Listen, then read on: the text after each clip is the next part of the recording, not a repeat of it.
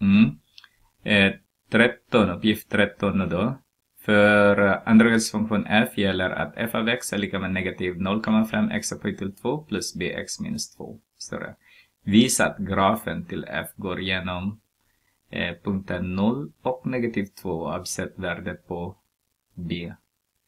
Ja då, därför att eh, om x är 0, ni kan göra så här. f av 0 är lika med Eh, är 0 plus 0 plus är minus 2. Minus 2. Den här 0 här, det är b multiplicerat med 0. Så det har ingenting att göra med b. Det är någonting att göra med x egentligen. Så avsätt det på b, det blir 0. Så den går igenom det. Och där är klart med a. B då, bestäm för vilka värden på b som f endast har ett nollställe. Eh, kommer ni ihåg den här nu då? Pika-formel igen. Eh, jag ska skriva här. x upphöjt till 2 är därmed px är därmed q är lika med 0. Och då har vi x är lika med eh, negativ pi dividerat med 2 plus minus roten ur pi dividerat med 2 parentes i kvadrat minus q. Och den som vi är intresserad av är den som jag ringer in med röd nu. Den som är under ruten ur. Okej? Okay? Det måste vara det måste vara P dividerat med 2 upphöjt till 2 minus Q, det ska vara lika med 0. Varför det? Därför att när den är noll så har ni bara värde, ett värde på x. Det är den som vill ge. En endast har ett nollställe. Bara en. Om det inte är noll betyder eh, att ni har två nollställen. Mm. Så ska vi titta. Så har vi ju, om vi har b här då. Om vi har ju negativ 0,5 x upphöjt till 2. Och därmed bx sätter det här med 2 är lika med 0. Därför vi pratar om nollställe så det måste vara lika med 0. Om vi dividerar båda led med eh, negativ 0,5 så har jag x upphöjt till 2. Så därmed eh, b dividerat med 0,5 det är 2. Alltså multiplicerar vi båda, båda med 2.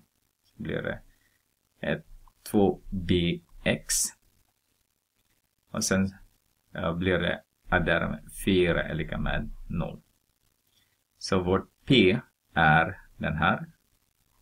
Och vårt q är den här. Okej? Okay? Så det ska vara lika med 0. Så P är negativ 2B dividera med 2 i kvadrat. Så subtrahera med 4 är lika med 0. Så ser du att den här blir 1 så har jag bara b upphöjt till 2 minus 4 är lika med 0.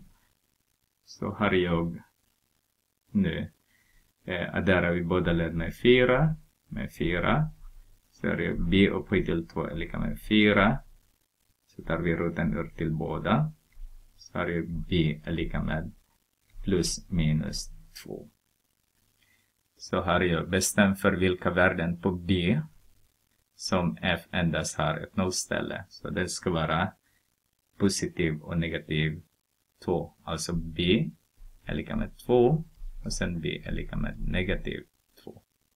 Ska vi titta på sino då. Eh, C-frågan har ingenting att göra med den C som finns här. Som ni ser här. Där. Då har vi g av x är lika med 0,5 x upphöjt till 2 plus bx minus c. Jag bestämmer vilket samband som ska gälla mellan b och c för att g endast ska ha ett nollställe. Vi kommer att använda exakt samma som vi har gjort med b. Men den här gången så har vi negativ 0,5 x upphöjt till 2 och därmed bx subtraherar med c är lika med 0. Så om vi dividerar båda led med negativ 0,5 fortfarande så har vi x upphöjt till 2. adderar med 2. Nej, subtraherar nu. Eh, subtraherar med inte adderar. Jag tänkte om jag har gjort fel i B. Det gjorde jag inte väl. Nej, subtraherar. Subtraherar 2 B X och sen addera med 2C. Alltså att, att, subtrahera, att dividera med 0,5 det är samma sak att multiplicera med 2. Mm. Är lika med 0. Så har jag P här nu är lika med negativ 2B och Q är 2C. Som ni ser där. Här är min C, äh, Q. Här är min P. Så vi ska använda samma då. Så är det P dividerat med 2 i kvadrat så tar jag med Q är lika med 0 för att ska ha ett nollställe. Så har vi P som är negativ 2B dividerat med 2 upphöjt del 2 subtraherar med Q som är 2C är lika med 0. Så har vi den här blir 1 så har vi bara B upphöjt till 2. Alltså blir det positiv därför att negat, äh, negativ multiplicerar med negativ blir det positiv. Så har vi inte lika med minus 2C är lika med 0. Adderar vi båda led mot 2C 2c. Så har vi d upphöjt till 2 är lika med 2c. Tar vi roten ur av båda så har vi b är lika med positiv negativ 2c. Roten ur 2c, förlåt. Det är den som är ett, ett förhållande. Det finns en, ett till. Till exempel vi har b upphöjt till 2 är lika med eh, 2c. Om vi dividerar båda led med 2, dividerar med 2, så får vi C är lika med B upphöjt till 2 dividerat med 2. Så ett svar skulle se ut så här. Svar är eh, antingen B är lika med positiv negativ roten ur 2C eller C är lika med B upphöjt till 2 dividerat med 2.